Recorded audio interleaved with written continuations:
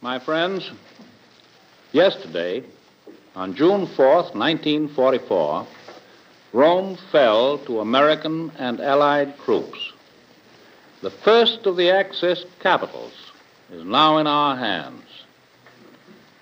One up and two to go.